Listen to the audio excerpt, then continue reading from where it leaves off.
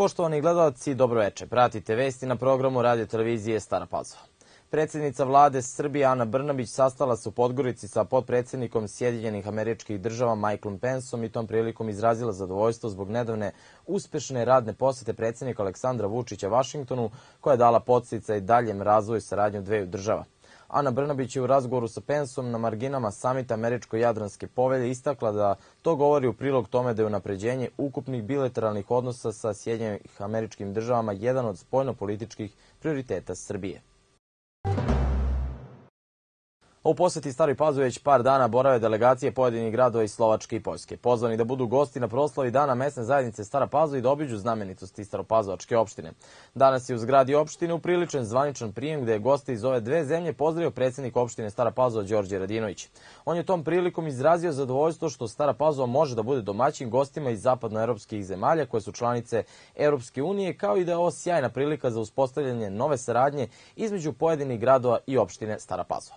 Na današnjem susretu moglo se čuti da pojedini delegati nisu prvi put u Stari Pazovi, a nisu krili oduševljenje što imaju priliku ponovo da borave u ovom mestu u kojem se, kako kažu, osjećaju kao kod kuće. Prvi čovjek Staropazovačke opštine najavio da će se ubrzo pred Skupštinom opštine naći i predlog da od sledeće godine Dan Svetog Ilije postane Dan opštine Stara Pazova a Branko Kovačević, privrednik iz Stare Pazove, dobitnik je priznanje mesne zajednice Stara Pazova plaketa sa poveljom za 2017. godinu za pomaganje društvenim organizacijama i udruženjima građana. U oblasti kulture priznanje mesne zajednice ove godine je pripalo Zlatku Rumanu i Dajani Kostić, dugogodišnjim koreografima specijalno priznanje za pokazanu izuzetnu humanost pripalo je doktoru Igoru Simaniću.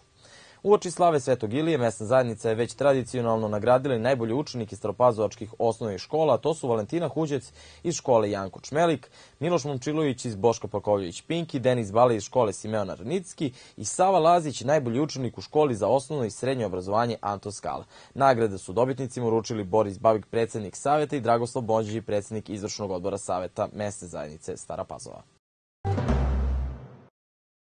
Na aerodromu Batenica danas je obeležen dan avijacije i krsna slava 204. vazduhoplovne brigade. Svečanosti je prisustvovao ministar odbrane Aleksandar Vulin koji je čestitajući dan avijacije naglasio da srpsko vazduhoplovstvo nije samo tehnika, već da su to ljudi koji nikada neće reći ne.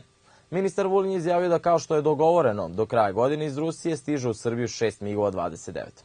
Odlukom komandanta ratnog vazduhoplovstva i protivvazdušne odbrane Ranka Živaka zlatnim letačkim znakom odlikovani su pukovnik Saša Mijajlović, potpukovnik Beli Gercmajer, major Đurica Marić i major Milomir Miljković. Ovom prilikom oseštan je i spomen park posvećen svim palim vojnicima za slobodu zemlje pod simboličnim nazivom Niko nije rekao neću. Spomenik je izgrađen zahvaljujući Srpskoj pravoslavnoj crkvi i pomoći opštine Stara Pazova. U nastavku vesti jedno obaveštenje iz elektrodistribucije. Zbog elektromontažnih radova u četvrtak 4. augusta u vremenu od 9 do 12 časova bez električne energije ostaće sledeće ulice u Novim Banovcima, Vinogradska, Vojođanska, Džervinska, Skender Kulenović i Banacka u slučaju nepovoljnih vremenskih uslova, radovi će biti odloženi. Prelazimo na sport. U Novom Sadu je održana juče konferencija Udruženja klubova Srpske lige područje Vojvodina. Predstavnici klubova su se dogovorili da novo prvenstvo počne 18. augusta, a prvi deo se završi 25. novembra. Obavljan je i žreb za novo prvenstvo. Mladina će u Novim Banovcima igrati protiv Železničara iz Pančeva, Dunav i Starih Banovaca protiv Beočina, tačnije protiv ekipe Cementa u Beočinu, radnički znoje Pazove protiv Bečeja sa ekipom Beče 1918. Sve utakmice će se igrati subotom i nedeljom i neće biti vanrednih kola sredom. A odbojkašice Srbije su savladale selekciju Sjedinjenih američkih država sa 3-2 u setovima u prvom meču na finalnom turniru 25. Grand Prix 2017 u kineskom gradu Nanjingu. U narednom kolu naše odbojkašice se sastaju sa selekcijom Italije u petak od 9 sati ujutru po naše vremenu.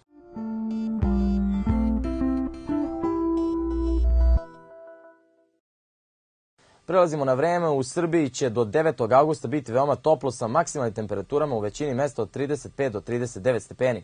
Za vikend lokalno i do 41 stepena upozorio je Republički hidrometeorološki zavod. Poštovani gledalci, pratili ste vesti na programu radio televizije Stara Pazova. Hvala vam na pažnji i ostanite uz nas.